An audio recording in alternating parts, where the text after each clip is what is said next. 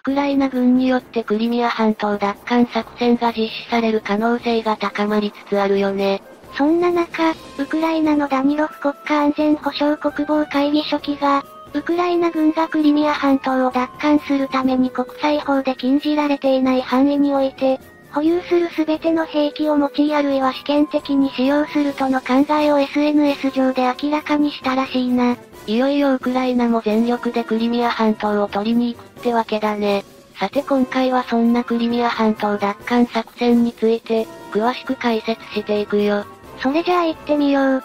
ゆっくりしていってね。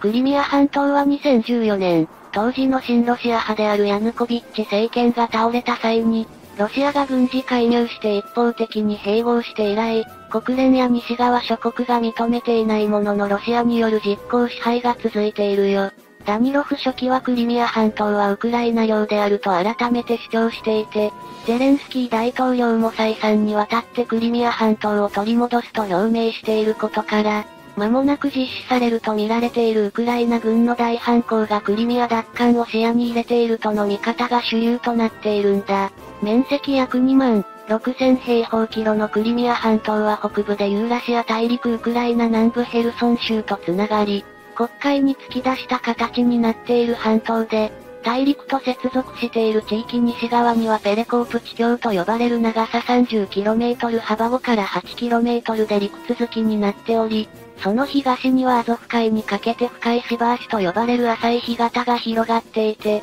大陸側から突き出ているチョンガル半島との間にある狭い海峡に鉄道道路併用橋が架けられて繋がっているね。また、半島の東端にあるケルチ半島の東側には、アゾフ海と黒海を隔てているケルチ海峡があって、このケルチ半島の東端と、ロシア南部のクラスノダール地方からクリミア半島に向かって、突き出ているタマン半島の西端には、クリミア半島併合後にロシアが架けた全長 18.1km の鉄道道路併用橋であるクリミア大橋があるぜ。ロシアに併合されるまでのウクライナ領としては、クリミア自治共和国と大きな軍港のあるセバストポリ特別市に分かれ、クリミア自治共和国はウクライナでは唯一の自治共和国であり、港湾都市のセバストポリにある軍港がロシア海軍黒海艦隊に租借されていたことから、この自治共和国の管轄外としてウクライナ中央政府の直属都市となっていたな。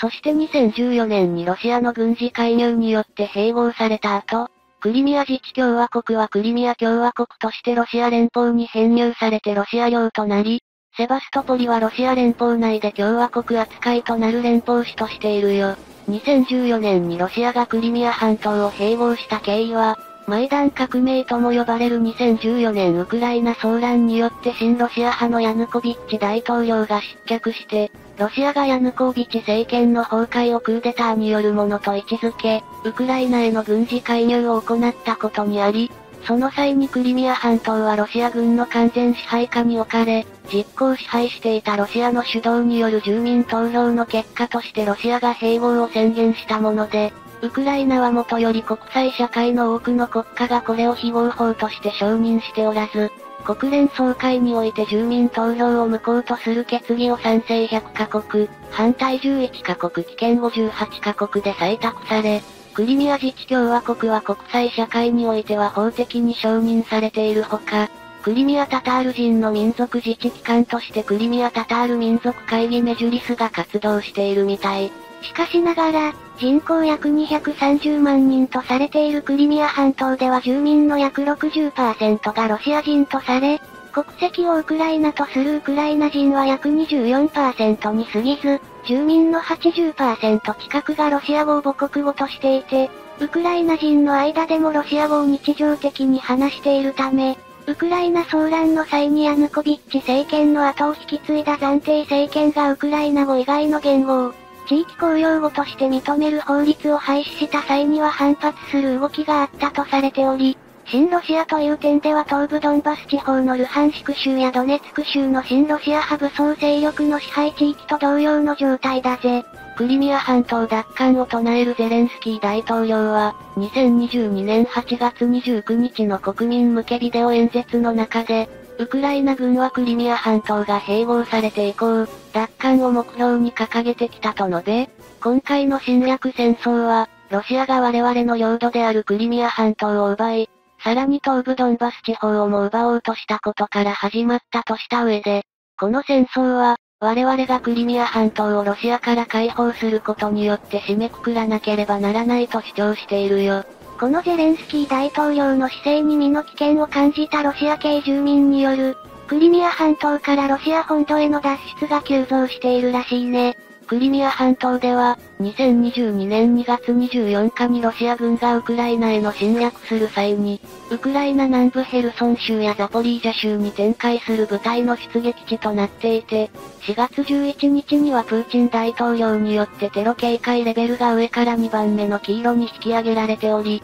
半島に駐留するロシア軍部隊ではウクライナ軍の進軍に備えてクリミア半島の要塞化を進めていることが伝わっているんだけど、クリミア半島のロシア系住民はここまでの侵略戦争の経緯から不安を強くしているのであろうとの見方が広がっているんだ。ウクライナのゼレンスキー政権においてクリミア問題を統括しているタミラタシェワ氏が、ウクライナの国営テレビに出演して述べたところによると、ロシア系住民は、2014年にロシアが一方的に併合したクリミア半島をウクライナが奪還しようとすることに不安を募らせているとして、大勢のロシア系住民が家を捨て、クリミア半島から脱出しているとしたよ。ゼレンスキー政権では以前から、2014年以降クリミア半島には50万人から80万人のロシア人が違法に暮らしているとして、ウクライナがクリミアを奪還した際にはそれらロシア人にはウクライナの法律や国際法が適用され、国外退去処分となる可能性があると指摘していたな。タシュワ氏はさらにどれだけの人数がクリミアを去ったかについては、統計を取っていないためにわからないが、数千人単位だと理解していて、クリミア大橋にはロシア本土に移動しようとする車列ができているとして、クリミアの住宅市場は売り一式になっているとも付け加えたみたい。また、クリミア半島の先住民族とされているタタール人を支援している、エミール・イブラギモワ氏がウクライナのラジオ局のインタビューにおいて、ロシア系住民の多くはいずれウクライナ軍が近い将来においてクリミアを解放するものと見ており、ウクライナから報復を受けることを恐れてパニック状態になっていると述べているよ。2022年8月にクリミア半島南西部にあるロシア海軍の航空基地で爆発が発生し、ウクライナ軍による攻撃の可能性が報じられた際にも、多くのロシア系住民がクリミア大橋からロシア南部のクラスノダールに逃れ、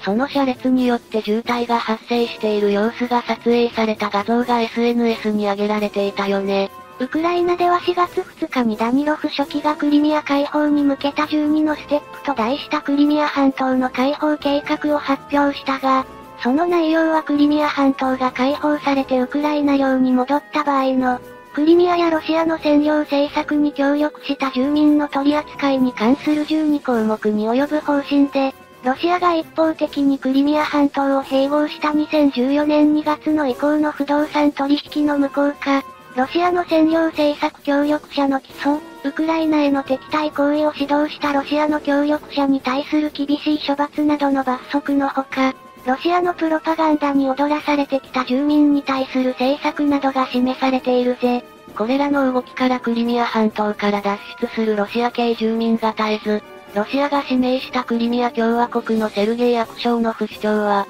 クリミア半島にはウクライナの反転攻勢に対する備えはできているとして住民を安堵させようとしているけど、ロシア本土へ避難しようとする住民の流れを止めることはできていないと見られているよ。それじゃあ今回はこの辺で、よかったら、チャンネル登録してね。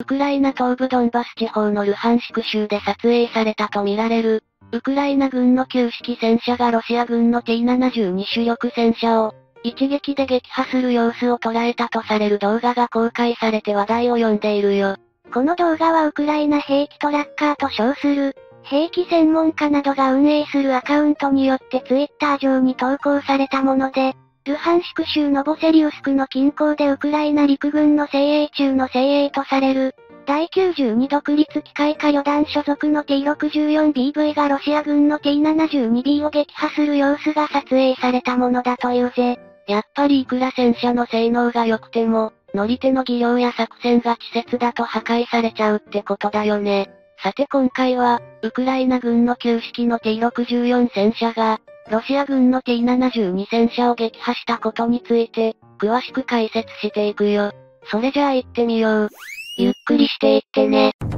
ウクライナ軍のドローンから撮影されたとみられる動画は、直線道路においてわずかな距離で対峙するウクライナ軍とロシア軍の戦車を捉えていて、その後ウクライナ軍の T64BV が四方を発射してロシア軍の T72B に命中して炎上していて、さらにウクライナ軍の T64 がもう1発を発射してとどめを刺す形で、炎と煙を上げているロシア軍にもう一撃を与えているよ。なお、この動画はウクライナ国防省もツイッターに投稿していて、第92独立機械化旅団が撮影した動画であるとして紹介しているね。ウクライナ軍が使用したとされている T64 は、旧ソ連が開発した第2世代主力戦車で、それまでは簡素な作りで大量生産が可能で、簡潔かつ堅実な構造で取り扱いが楽なことを追求してきた旧ソ連戦車としては珍しく、複合走行、格好法、自動装填装置など新技術が積極的に盛り込まれているのが特徴なんだ。この T64 は1966年12月に正式採用されているんだけど、当時のソ連の同盟国であるワルシャワ条約機構加盟国や友好国などに輸出されず、ソ連のみが保有していて秘密裏に旧東ドイツのソ連軍東部軍集団や、ハンガリーなどに配置されていた南部軍集団などに配備されていたみたい。西側諸国では1985年の対独戦勝40周年パレードにこの T64 が登場するまで、T72 の影に隠れた正体不明の新型戦車としていて、その存在に気がついていたものの性能などの詳細を知らず、T72 の開発の元になった失敗作との見方をしていたというんだけど、実際には、新規軸を盛り込みすぎた T64 の運用が難しいこととコスト高を補うために、ハイローミックスの形として T62 などで培ってきた旧来の質実合憲的な技術と、T64 のスタイルを合わせた普及型が T72 であるとされているね。そのような事情で開発された戦車であるために、生産数においては T62 の約1万9000両、T72 の約2万2000両には劣るものの、1964年から1987年までに様々な派生型を含めて約1万2500両が生産され、1991年のソ連崩壊後もロシア連邦陸軍とウクライナ陸軍で多数の T64 が現在も運用されているんだ。ウクライナの VOMRHO 記念工場では T64 に独自に大幅な近代化改修を施した。T64BM ブラートが開発されており、2005年に17両が納入されて以来、T84U オプロート西側仕様の砲塔を搭載した BM オプロートも含むとともにウクライナの新しい主力戦車として配備されていたよ。その一方で、ロシアでは T64 の開発生産拠点が全てウクライナ国内にあったことから、整備用パーツなど消耗品の供給に難があるなど理由で、保有していた T64 に対して T72 に施したような積極的な近代化改修は行われず2017年までに退役させているな。このことから、動画の中で第92独立機械化旅団の T64BV と紹介されている戦車は、T64BM ブラートではないかとの見方を示す声もあるぜ。仮にこの動画に登場するウクライナ軍の戦車が T64BM ブラートであれば四方には 125mm ヌメ後方に A46M が搭載されているほか、T84 に準じた装備が搭載されており、コンタクト後走行級計120スビーリ、対戦車ミサイル 1A45 イルト一種射撃管制装置、TKN4S レーダーサイト PZU7 サイト、TRN4E ブラーン E 暗視装置などの近代化が図られていると見られるね。また撃破されたロシア軍の T72 は T64BM と同じ 125mm 滑空砲に A46M が搭載されているため、T64 とは攻撃力の点で互角であり、ロシア軍が運用している T72B3 は第2.5世代でありながらも、総合的なバランスの良さから第3世代主力戦車に相当するとされているんだ。しかしながら、T72 で採用されている回転型自動装填装置は本来、弾薬を被弾率が低い車体底部に集約して生存性の向上を狙った設計であったものが、万一車体底部の弾薬に誘爆した際には爆風が戦闘室を直撃することになり、砲塔が真上に吹き飛んで車体が大きく損傷しやすいことが判明したぜ。また、車内に剥き出しの予備弾薬を搭載している場合には、被弾した砲弾が貫通して弾薬庫を直撃しなくとも、防護されていない予備弾薬に引火して車内に甚大な被害をもたらすこともあるな。この T72 が被弾した際に砲塔が吹き飛ぶことは、湾岸戦争時にイラク軍が運用していた T72 において多数発生したことから、アメリカ軍内ではジャック・イン・ザ・ボックスびっくり箱として T72 を揶揄する別称で呼んでいたほどなんだ。ウクライナ軍参謀本部によると、ロシア軍はウクライナ侵略を開始した2月24日以降、12月12日までに3000両近い戦車を喪失しており、ロシア国内でウクライナに投入できる稼働可能な T72 の在庫はほぼ枯渇しているとみられ、周辺で T72 を保有しているベラルーシ軍から T72 の供与を受けているだけでは足りず、旧式の T62 戦車の保管在庫に簡単な近代化改修を施して前線に投入しているとされているよ。また戦車用砲弾の在庫については、ウクライナ軍の高機動ロケット砲システム、ハイマースなどによる二弾薬集積場の破壊や、弾薬庫を残したまま退却するなどの不手際もあり在庫が枯渇しつつあるのではないかと見られているんだ。戦車戦の動画が撮影されたと見られるルハンシク州では天候不順によるぬかるみの発生などもあり、ウクライナ軍が少しずつ非占領地を奪還していると見られているが、12月上旬に同州のカディフカにあるロシアの民間軍事会社ワグネルの拠点となっていたホテルが、ウクライナ軍によると見られる攻撃を受けて破壊されたとして、ルハンシク州のハイダイ知事が明らかにしているみたい。ハイダイ知事によれば、多数の死傷者が発生していて負傷者の半数以上は助からないとしている中、ロシア国営のタス通信が地元の新ロシア側当局者の話として、ウクライナ軍のハイマースによる攻撃でワグネルの拠点が破壊され、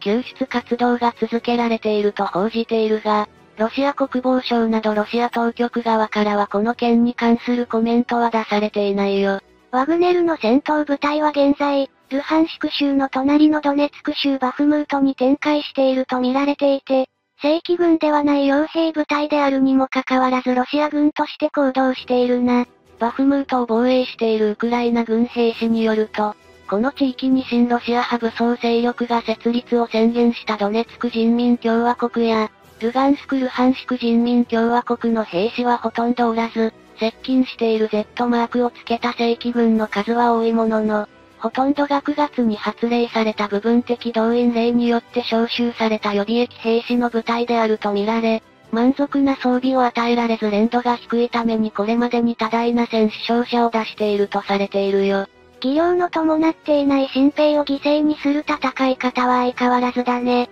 ワグネルの戦闘員はそれなりに連度が高く、士気も正規軍よりは高いとされ、唯一ウクライナ軍に対して攻勢に出ているんだけど、ワグネルは予備役招集兵を石膏としてウクライナ軍の前面に出し、ウクライナ軍に攻撃させてその位置を確認するためのステージとして活用しているとみられ、その非道な扱いにはウクライナ軍兵士でさえも同情を寄せているみたい。しかしながら、ワグネルのウクライナ国内における拠点が壊滅状態となったことで、今後ワグネルの動きが変わる可能性が高いとの見方があり、注目されているな。そして12月11日、ウクライナのレズニコフ国防省が現在の戦況について触れ、ぬかるみによって戦車などの戦闘車両が移動できないために膠着状態にあることを説明した上で、ウクライナ軍は自国の領土を奪還するために、冬の訪れともに地面が凍結するとともに反撃を開始すると述べて、領土奪還に向けて強い意志を表明したよ。それじゃあ今回はこの辺で、よかったら、チャンネル登録してね。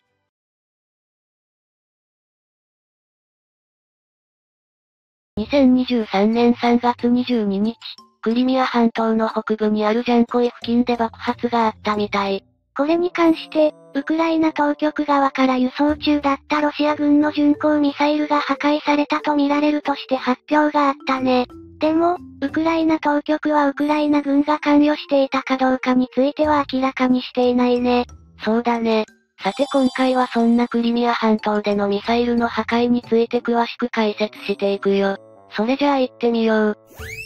ゆっくりしていってね。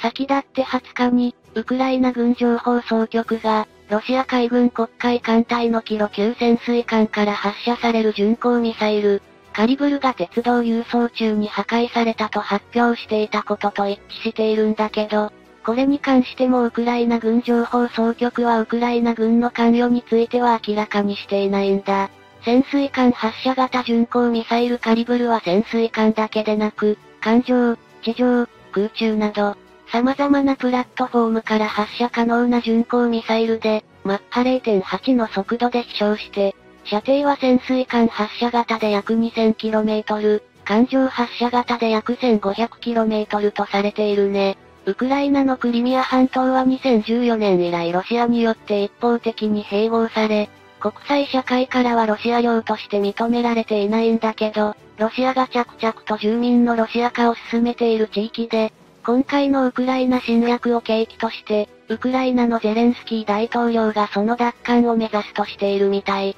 このウクライナ側からの発表についてロシア側はそのような攻撃はなく、ミサイルが破壊されたとの報告はないとして否定していて、クリミア半島でウクライナ軍のドローンが民間のインフラ施設を攻撃したとしているね。それを裏付ける証拠として住民がドローンによる攻撃とみられる爆発音を聞いたことを証言していて、さらにその住民が撃墜されたドローンの破片を拾ったとしているほか、別の住民が家の近くでミサイルが爆発したために建物の屋根が吹き飛んで衝撃波によって、窓ガラスが割れたと語ったことを伝えているが、動画や画像などによる確認はされていないというよ。この報道に対してインターネット上ではロシア側はウクライナ全土の民間インフラを破壊し続けておきながら、クリミア半島だけでなくロシア本土が何らかの攻撃を受けるとウクライナ軍が民間人をターゲットにしていると騒ぐが、国際社会でそのような一方的で理不尽な主張が受け入れられると本当に考えているとするなら、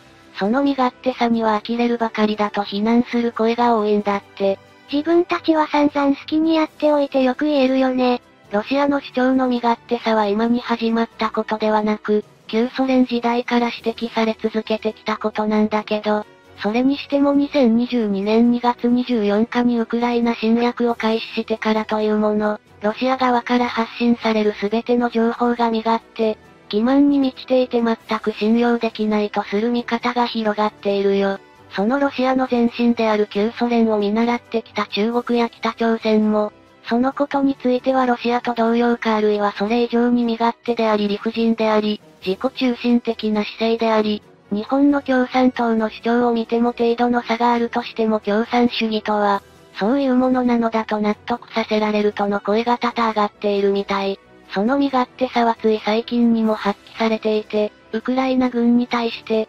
2023年4月頃までにアメリカをはじめとする北大西洋条約機構 NATO 加盟諸国から、第3世代戦車が供与されることになり、アメリカからは M1 エイブラムス、イギリスからチャレンジャー2、ドイツと他のヨーロッパの国々からレオパルト2を合わせて300両近くがウクライナに引き渡されることになり、ウクライナ兵への操縦訓練などが進められているんだけど、そのことを懸念するロシアのプーチン大統領が、イギリスの国防省が、ウクライナやレンジャー2戦車の供給だけでなく、劣化ウラン弾の供給を表明したことが、今日明らかになったとした上で、もし、そのようなことが事実であるとするならば、ロシアはそれ相応の措置を取ると発言したんだ。劣化ウラン弾は戦車の装甲を貫通する力が強く、対戦車用兵器としてよく使用される戦車弾で、微量の放射性物質が含まれるため、国連機関では懸念が示されているとの事実はあるよ。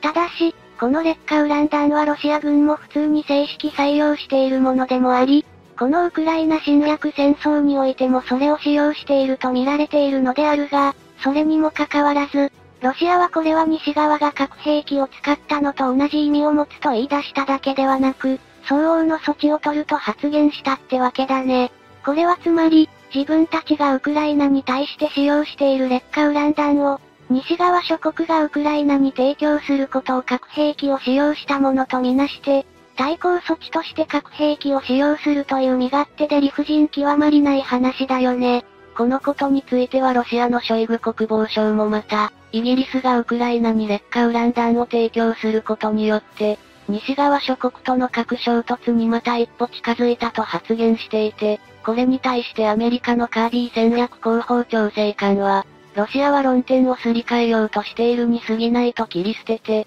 劣化ウラン弾は数十年にわたり、西側諸国だけでなくロシア軍でも一般的に使用されているとした上で、ロシアがこれ以上ウクライナ軍に戦車を破壊されたくないというなら、不当に侵略して占領しているウクライナから退けばいいだけの話であり、そもそもロシア軍がウクライナ領内に存在していることが場違いなのだと非難しているよ。またイギリス国防省もカービー戦略広報調整官と同様に、劣化ウラン弾は世界中で数十年使われてきた標準装備であり、ロシアはその事実を隠して意図的にデマを流しているとして、やはりロシアによる自己中心的な対応を非難したんだ。日本においてロシア事情に精通しているとされている東大先端県小泉優先任講師は、ロシア製の鉄鋼弾の中にも対戦車用に劣化ウランを使用している弾頭を持つ砲弾があるのは間違いなく、今回の侵略戦争においてそれらを使っていないことはないと思われるとして、要するにこのウラン劣化弾という砲弾は戦車の大砲における通常弾に過ぎないとした上で、それに対して報復として核兵器を使用するというのはあまりにも高等無形であるとしていて、ロシア側は政治的に西側諸国のウクライナに対する軍事援助を牽制しているだけと考えられると述べて、これ以上の援助をしないようにとの脅しの材料として言っているだけかとと、単なる脅しとしての意味合いが強いとの見方を示したよ。また、ロシア側ではこの劣化ウラン弾の他にも、国際社会から見れば自己中心的で身勝手で理不尽な言動が見られ、ロシアがウクライナ領内に侵略を開始した3月24日に、ロシア国家安全保障会議副議長のメドベージェフ前大統領が、ロシアメディアの記者らによるインタビューを受ける様子を撮影した動画を SNS に投稿して、もしロシアが実効支配しているクリミア半島に対してそれを奪還することを目指してウクライナ軍が攻撃するならば、